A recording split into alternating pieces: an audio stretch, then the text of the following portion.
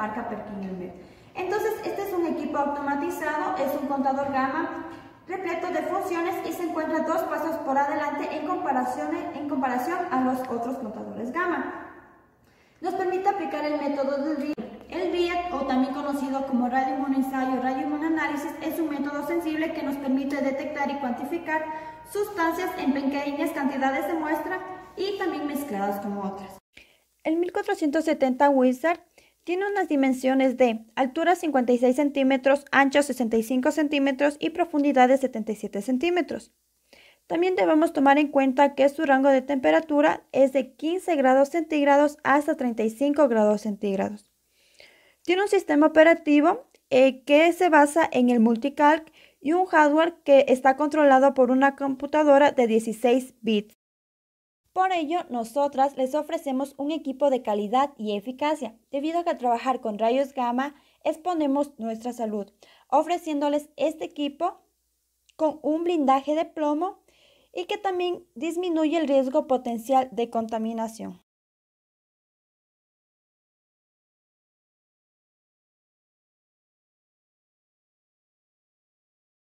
Partes del equipo. En las partes del equipo encontramos dos teclados. El, bueno, el equipo va a poseer dos teclados.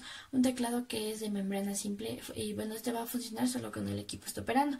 Y un teclado que se le agrega un teclado de PC que, va que nos va a ayudar a, editar los protocolos. También cuenta con una pantalla en vivo que va a mostrar los valores en tiempo reales.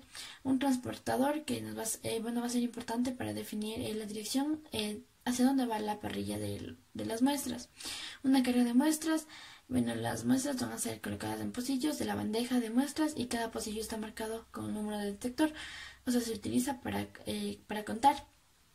El selector de red, que es un instrumento de los más antiguos y tiene un voltaje marcado y se, y se combina con los, en los fusibles para ajustar el selector de red. Los puertos de comunicación. El puerto, eh, el puerto es, bueno, es paralelo y es estándar al instrumento y nuevos, donde la versión de software es un voltaje de 3.5 y viene instalado en la fábrica. El panel de conexión se denomina la bahía de rutas, es el instrumento encargado de recibir todos los cables consumibles. Bueno, los consumibles van a formar parte del material laboratorio, además de ser elementos y objetos necesarios para llevar a cabo eh, los diferentes tipos de pruebas, también se consideran otros elementos como quien, diría, eh, como quien sería el aire comprimido, el agua y productos que mantengan la higiene y la limpieza de nuestro laboratorio, por lo que eh, son especiales. El, bueno, el equipo va a poseer dos teclados, un teclado que es de membrana simple y bueno, este va a funcionar solo cuando el equipo está operando y un teclado que se le agrega un teclado de PC que, va que nos va a ayudar a, editar los protocolos. También cuenta con una pantalla en vivo que va a mostrar los valores en tiempo real, un transportador que nos va, eh, bueno, va a ser importante para definir eh, la dirección eh, hacia dónde va la parrilla de, de las muestras, una carga de muestras, bueno, las muestras van a ser colocadas en pocillos de la bandeja de muestras y cada pocillo está marcado con un número de detector. O sea, se utiliza para, eh, para contar. El selector de red, que es un instrumento de los más antiguos y tiene un voltaje marcado y se, y se combina con los, en los fusibles para ajustar el selector de red. Los puertos de comunicación. El puerto, eh, el puerto es, bueno, es paralelo y es estándar al instrumento y nuevos, donde la versión de software es un voltaje de 3.5 y viene instalado en la fábrica. Y el panel de conexión se denomina la bahía de rutas, es el instrumento encargado de recibir todos los cables y cableado de la estructura de, del equipo. Por ejemplo, en este caso sería lo, lo que sería los la impresora y el software que ocupa este equipo. O sea, es decir, que o, o sea, ocupa la computadora como maquinaria y el software para imprimir los resultados.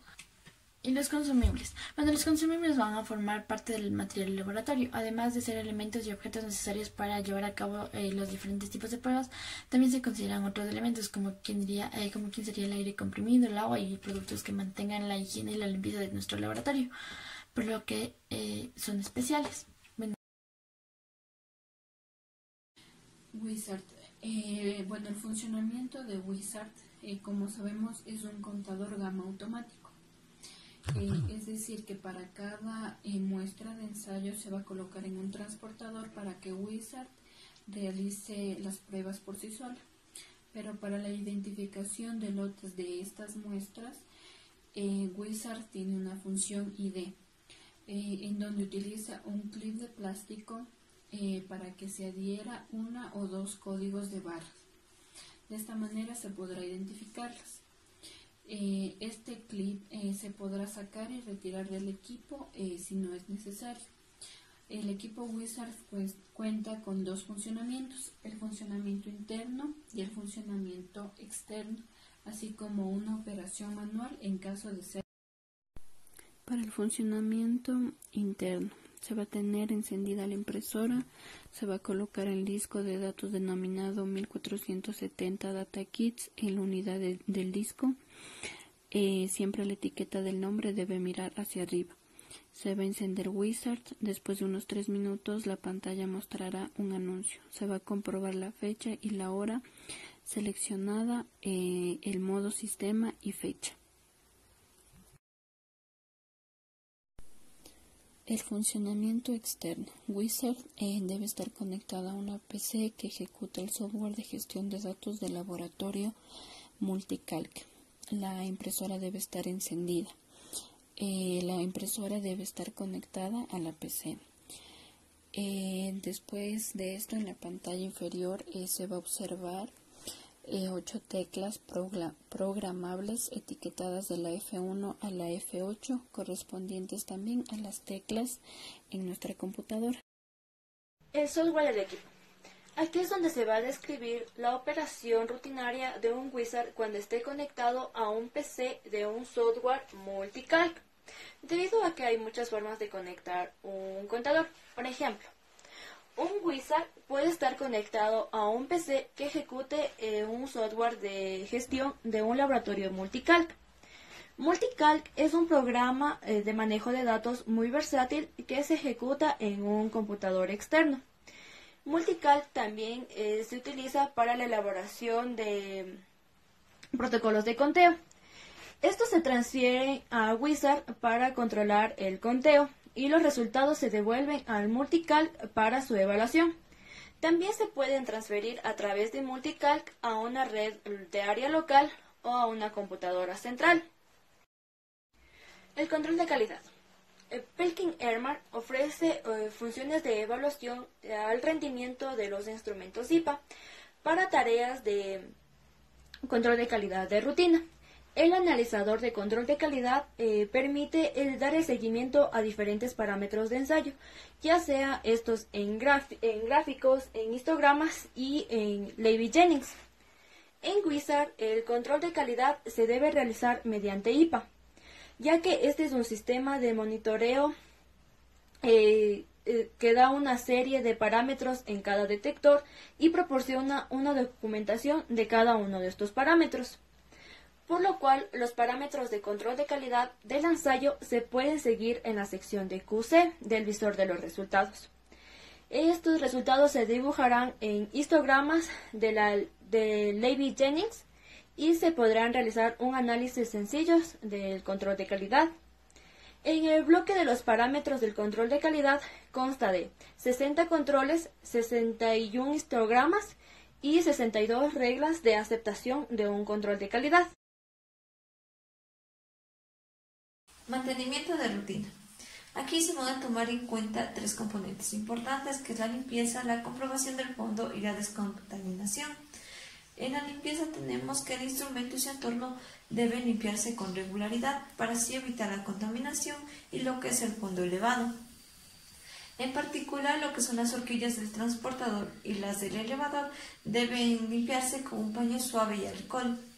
Para que no entren polvos a los pocillos del detector, se debe mantener siempre cerrada lo que es la cubierta antipolvos. La comprobación del fondo, si se desea verificar sin guardar realmente lo que son los resultados, como se debe comprobar la normalización del fondo, eh, se debe contar con lo que es una gradilla vacía que tenga lo que son soportes, pero no con tubos de muestra sino que asegurarse que el tiempo de la el tiempo de la comprobación sea suficiente para realizar el conteo, como puede ser unos 10 minutos. Descontaminación.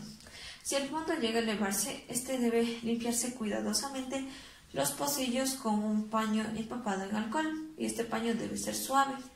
Evitar el uso de lo que son los líquidos de descontaminación que puedan ser corrosivos.